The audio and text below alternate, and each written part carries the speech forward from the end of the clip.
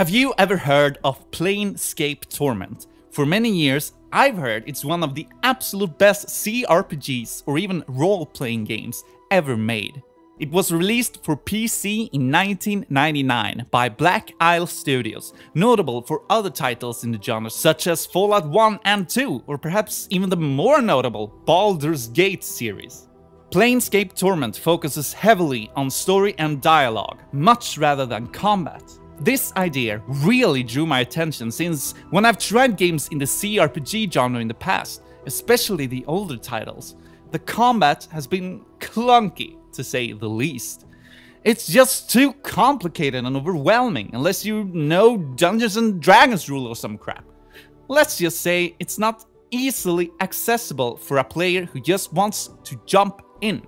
Before moving on to the actual game, note that this is not by any means a review series, only me giving the game a fair chance to catch my attention and then presenting my initial impressions. If you're like me and value your time and or have a deteriorating and pitiful attention span, this series will try and determine if the game in question may be worth playing despite those shortcomings. So, how long have I been playing Planescape Torment? Well, I clocked in at around 3 hours, but to get ahead of myself, I will be playing this a lot more in the future. So, let's quickly jump in.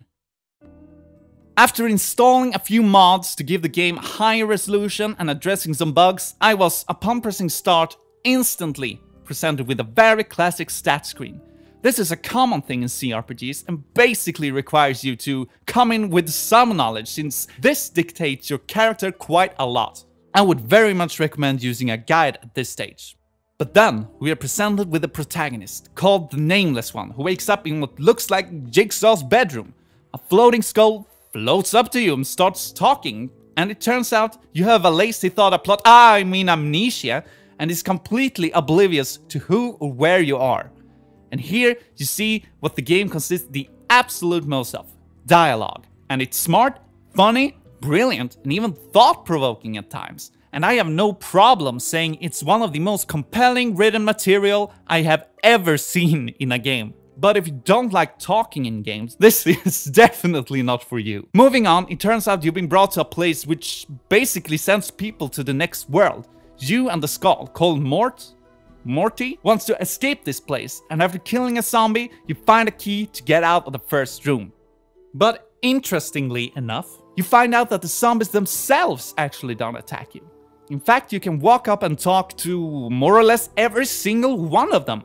The game encourages you to talk to everyone and everything, and it seems it's almost always the way to go rather than killing stuff. And soon, you meet an old guy called Dhall, and you're presented with even more information on who you are, what this place is, who operates here, and even more than that. It's encouraged to check out and read every single branch of dialogue possible with any characters, since it might gain you XP and add story to your journal. I absolutely love this aspect since I was so intrigued by the world, and I spent 10 minutes at least talking to him. In the next room, you find an NPC that gives you your first quest. As it's your first, it's, at least on paper, a basic and boring fetch quest, but it teaches you how the game works. To find the items, you not only need to explore, but you need to talk your way to get items. While exploring the area, I found that the game taught me about itself in, at least for me, a very compelling manner. You find a lot of little notes and journals lying around, giving you hints. For example, I found a locked chest and I couldn't seem to find a key. I found an internal message saying that the crowbar that's used to open locks were misplaced somewhere and realized I've looted this some time ago. Finding that out made me feel smart, and there's a lot more of those elements to be found in the game. And by the way, does the game not look gorgeous? The visuals are so intriguing and beautiful and gives the game such a daunting and unique atmosphere, complemented by equally striking sound design and music. I guess I'm getting a bit off topic, but I realize that I don't want to spoil the game and how it behaves fully, since it's such a treat to find out everything yourself. But minor spoiler, I played until you get out of the first area and what seems to be like a small village or town.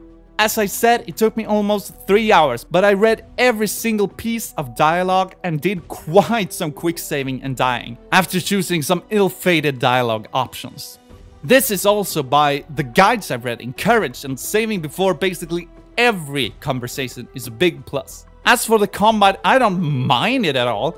I haven't really come to any advanced spell casting or such yet, but it seems relatively straightforward.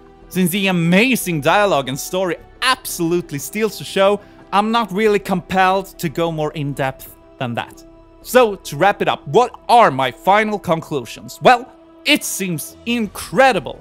I was kind of afraid the hype would get to me, but especially the great writing and the amazing atmosphere won me over very fast. There is no chance I will not continue playing this in the future.